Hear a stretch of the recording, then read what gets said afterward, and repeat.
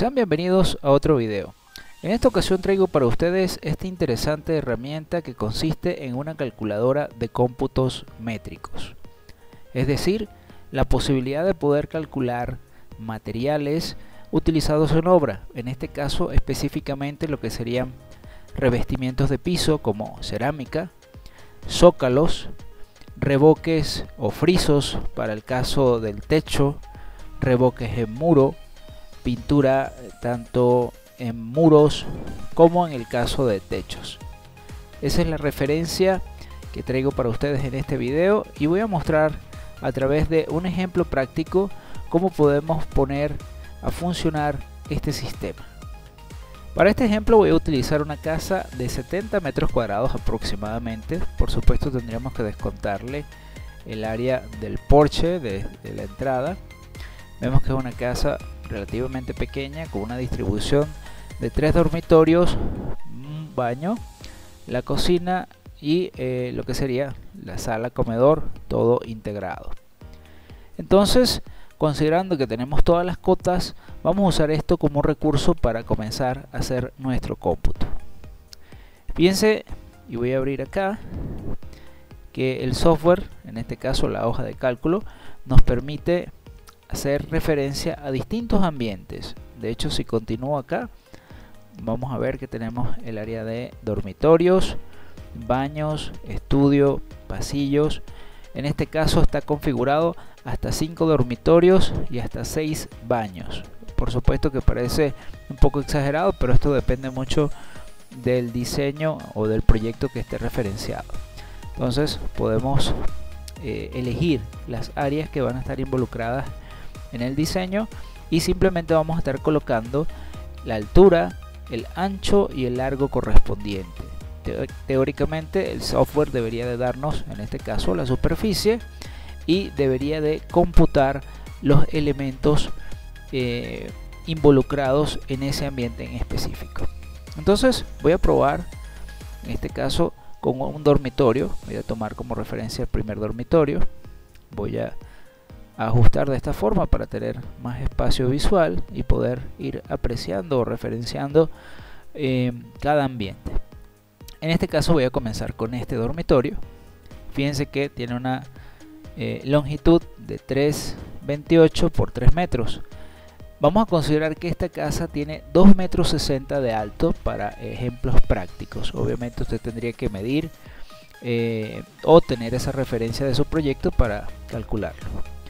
3 metros por 3,28. Entonces, altura 2.60. Ancho, en este caso, 3 metros. Enter. Largo 3.28. 3.28. Enter. Y fíjense que automáticamente ya me está dando todas las referencias en la cantidad de cerámica de piso, la superficie, que por supuesto es la misma, pero está considerando pues que todo el área va a tener piso.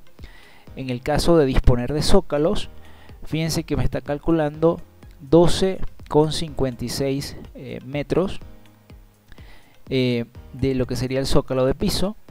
Revoque en techo, pues por supuesto que sería la misma área del piso, 9,84. Revoque en muro, 32,66 metros cuadrados, que sería toda esta área pintura látex en el techo y pintura látex en muros. Sin embargo, aquí aparece algo que es muy interesante, que tiene que ver con los descuentos. Y esto hace referencia a, por ejemplo, si yo dentro de ese ambiente tengo ventanas, puertas o elementos que de alguna manera no van a ser revocados o no entran dentro de esta, de esta actividad. ¿no? Entonces, por ejemplo, vamos a computar aquí puerta tenemos una puerta de 210 por 080 entonces la altura 2.1 y el ancho 0.8 correspondiente a 80 centímetros. Presiono enter. Y fíjense que ya afectó la longitud de los zócalos. Antes teníamos 12 metros. Le acaba de descontar los 80 centímetros asociados a ese espacio correspondiente a la puerta. Además que esa puerta también es un elemento que está afectando la, eh, la cantidad de revoque en muro. Fíjense, voy a darle aquí a deshacer para que vean. Tengo 32,66 y al activarlo tengo 30,98. O sea, 1,68 m lo estoy descontando porque en ese espacio no hay revoque, pues no hay material eh, para ese hecho. Por supuesto, y quiero destacar que este tipo de cómputos aplica eh, principalmente para personas que eh, quieren comprar material y, necesitan saber más o menos cuánto va a ser el estimado del material, de la cerámica, de la cantidad de pintura, ese tipo de elementos, aunque también esto funciona perfectamente para cualquier estudiante de arquitectura, cualquier arquitecto que quiera eh, una herramienta relativamente rápida para sacar sus cómputos, por supuesto también para el amigo eh, constructor, el albañil, que desea cobrar y sacar sus cómputos relativamente rápido para pasar un presupuesto, pues puede ser una herramienta muy interesante para eh, poder trabajar de forma automática. Fíjense, también tenemos aquí una ventana de 1.10 por 1.50. Entonces, en este caso voy a también descontar el material correspondiente a la ventana. Obviamente ahí esto ya es un tema de criterios en lo que respecta a pagos que en algunos casos pues eh, se paga a muro corrido, ¿no? O sea, si yo voy a eh, cobrar y voy a hacer el filo, el borde de la ventana, etcétera, etcétera, pues eh, hay quienes cobran eso como un elemento aparte o aplica el descuento o no, Entonces eso ya es un tema de criterios, simplemente yo estoy enfocándome principalmente en la cantidad de materiales. Entonces, ventana sería 1.10 de alto, 1.10 por 1.50 y tendríamos 1.65 y fíjense que nuevamente ha afectado a las otras áreas correspondientes al, tema de pintura y al tema de por supuesto pintura en muros y a la cantidad de revoque en muros entonces ese sería nuestro nuestro primer ambiente Vamos con el segundo dormitorio que casualmente tienen las mismas dimensiones. Entonces voy a seleccionar acá. Estamos en dormitorio 1. Voy al dormitorio número 2. Por defecto es importante que cada vez que vayan a realizar este trabajo pues todo esté en cero. Altura 260. Ancho de este espacio 3 metros. Largo 328 tenemos la misma superficie en los descuentos tenemos una puerta de 210 por 0.8 y una ventana de 1.1 por 1.50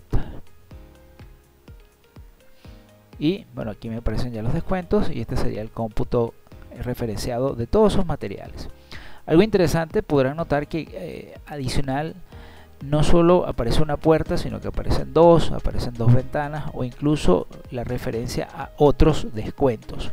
¿Por qué? Porque bueno, obviamente la geometría o las características de cada diseño pueden variar muchísimo. Por ejemplo, eh, hay habitaciones tipo suite que tendríamos la ventana, perdón, la puerta principal, la puerta de ingreso al dormitorio y una puerta secundaria correspondiente al baño, por ejemplo, ¿no? Entonces podría darse ese caso de tener dos, puertas o que ese ambiente en particular tenga dos ventanas o algún otro descuento que queramos realizar.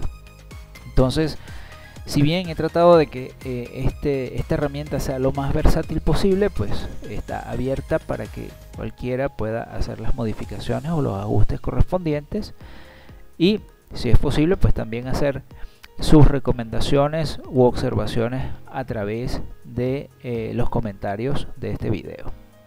Muy bien, ya tengo esos dos dormitorios realizados. Voy con el tercer dormitorio y quiero específicamente en este ejemplo hacer un detalle muy interesante porque como notarán acá el ropero está colocado, vamos a decirlo así, como un mueble sobrepuesto. Acá está embutido o hay un espacio para ese ropero en particular. Entonces, tenemos que tener distintos criterios a la hora de cómo computar esto porque realmente el sistema lo que está es haciendo un cómputo tomando como referencia un cuadrado o un rectángulo y sacando eh, sus áreas, su perímetro, tomando como base esas dimensiones, la altura, el ancho y el largo, nada más. Entonces tenemos que tener un poco de criterio sobre qué estamos añadiendo, qué estamos descontando en el espacio. Muy bien, entonces eh, en este caso la altura sigue siendo la misma, 2.6. El ancho 3 metros igual. El largo corresponde a 3.28. 3.28. Ahí tenemos 9,84 metros cuadrados. Muy bien, hasta acá estamos relativamente bien. Tendríamos que hacer el descuento correspondiente a la puerta y a la ventana. Puerta de 210 y el ancho 0.8. Y una ventana de 1.1 por 1.50. Muy bien. Teóricamente lo que estamos calculando sería el espacio correspondiente a este cuadrado o a este rectángulo, perdón, que tenemos acá. ¿Ok? Sin considerar este excedente o esta área que tenemos en esta sección. Entonces, fíjense, considerando que él ha computado todo este perímetro, todo este perímetro, yo puedo decir que este muro que está acá, que está recibido, ya lo computó en esta área. O sea, es como si estuviera colocado acá. Y lo que me faltaría por computar serían estas dos secciones de 0,60, que están acá, de 0,60, esto y esto, por la altura correspondiente. Al igual que por supuesto el área de piso ubicada en esta sección. Y aquí bueno hay criterios también muy particulares que considerar porque a lo mejor no me interesa aplicarle eh, cerámica a esta sección porque va el, ropero empotrado, eh, va a estar eh, con un zócalo de cemento, entonces eso depende mucho del criterio. Además que es un área pequeña que se puede anotar de forma externa y complementar. Sin embargo, yo tengo aquí un área, aquí una sección llamado adicionales, que está acá. Entonces yo puedo considerar este muro lo voy a considerar como un área, o sea, como si esto fuera un cubo, como si fuera un dormitorio nuevo o un área nueva, ¿sí? Para computar también piso y techo. Entonces, la altura igual 2.6, el ancho en este caso es 0.60 ¿sí? y el largo sería 1.30, que es esta distancia que tenemos acá, es la misma que 1 ahí tengo la superficie. Por supuesto que tengo que hacer descuentos a, esto, a estos elementos, a estas variables. ¿Cuáles van a ser esos descuentos? Bueno, ya yo computé esta cara. Esta cara la computé porque está en el dormitorio. Y esto también tendría que eliminarlo porque no existe. Entonces serían dos muros de 1.30 por 2.60 de alto. Entonces yo aquí en otros le voy a colocar ese descuento dijimos que la altura es 2.60 ¿sí? y el ancho sería 1.30 más 1.30 2.60 2.6 y le doy enter y estoy haciendo ese descuento correspondiente a esas de ese revoque en, muros ¿sí? porque realmente esos muros no corresponden pues, o ya está uno de ellos computado en el área del dormitorio muy bien, lo interesante de esta herramienta, por supuesto que voy a seguir referenciando los demás espacios, que es que nuestra hoja de resumen hace los totales, empieza a realizar todos los totales correspondientes a la pintura, sumando pues todas las, todos los parciales que tenemos de forma independiente. Muy bien, entonces continuamos, ya tenemos los dormitorios, vámonos con el baño en este caso vamos a ir acá, acá al baño baño 01 hay un solo baño acá así que la altura sería 260 el ancho ¿sí? vamos a considerar que el ancho es 1.30 1.3 aunque no hay problema si utilizan cualquiera de los dos la multiplicación 2.8 ya tenemos nuestra referencia, el área o la superficie correspondiente a este espacio. ¿Cuáles serían los descuentos? La puerta y la ventana. La puerta en este caso es de 0.7, bueno, su altura es de 2.10, perdón, 2.1 para ser un poquito más ordenados, 2.1 y 0.7 correspondiente a la puerta. Enter y ya me está haciendo los descuentos correspondientes.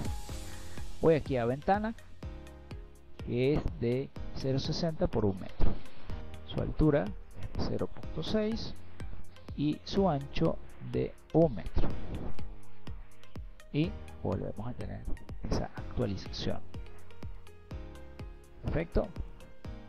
Fíjense que si me voy ahora a la base de resumen, pues él está también sumando todas las superficies de los espacios que estamos referenciando. Muy bien. Ahora vamos a un punto que es importante, que es la sala. Y fíjense que la sala tiene un espacio o una referencia bastante eh, grande en el tema de descuentos, porque depende mucho del diseño, a lo mejor yo voy a tener muchísimas puertas dentro de un entorno, pues puedo tener eh, varias puertas de dormitorio, varias puertas de baño, eh, como áreas de descuento o muchas ventanas también en la sala. Entonces por eso tiene estas referencias que ustedes también podrían ajustar según su requerimiento. Entonces, en este caso, vamos a considerar lo siguiente. Tenemos acá esta forma geométrica que podríamos considerar como dos rectángulos. Un primer rectángulo que sería esta parte, la parte más ancha, y un segundo rectángulo que sería esta sección correspondiente a la cocina. Entonces vamos a trabajarlo de esa forma. Vamos a considerar esos dos elementos de forma separada y así podemos controlar un poco más el, el área a trabajar. Entonces voy con este elemento, tenemos una altura de 2.60 tenemos ancho correspondiente de 3.28 3.28 y un largo de 5.40 5.4 los puntos correspondientes y ahora nos falta calcular lo que serían los descuentos en este caso tengo vean dos ventanas dos puertas estas dos estoy considerando este, este rectángulo tendremos otra puerta acá tres puertas entonces, la primera puerta, vamos a irnos con la principal, es de 2.10 de alto, ¿sí? Y su ancho es de 0.90. Muy bien. Tenemos una segunda puerta con 2.10, 0.80 y tengo una tercera puerta acá, misma configuración, 2.10 por 0.8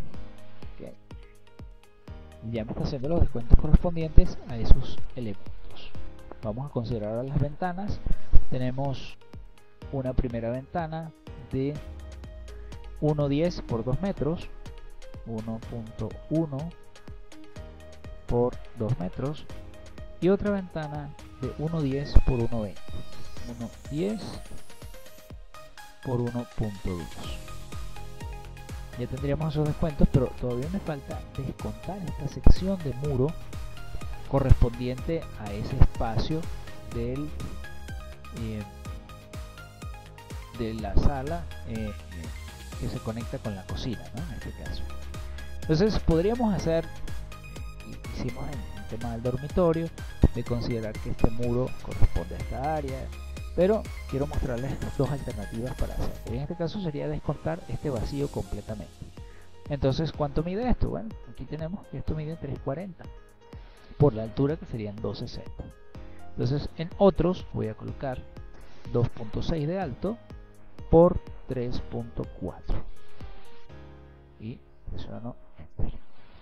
Muy bien, y ahí estoy haciendo los descuentos correspondientes de ese espacio en particular ya tendríamos acá la cantidad de cerámica, el piso, los zócalos, el, revoque de techo, revoque en muros y esto por supuesto se está viendo reflejado en el área de resumen. Fíjense que sigue aumentando el área y me sigue mostrando eh, todas las cantidades, todos los totales. Entonces, ahora vamos con la cocina. Cocina. Y bueno aquí tenemos este espacio de 340 por 1.98 la altura va a ser 2.9 perdón 2.6 2 metros 60 el ancho eh, 1.98 28 el largo 3.4 ahí tenemos el área de ese espacio cuáles son los descuentos correspondientes a este ambiente. Bueno sería esta puerta esta puerta y tendríamos como descuento también esta cara que no existe.